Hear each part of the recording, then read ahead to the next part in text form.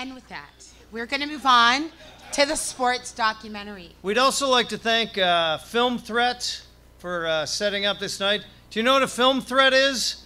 If you don't behave, I'm going to make you watch The Irishman again.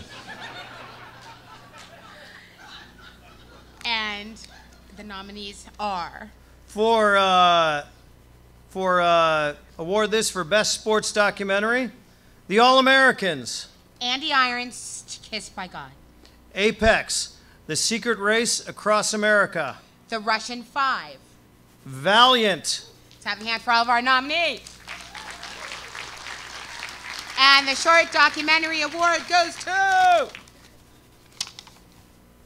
The The Russian, Russian Five. Five.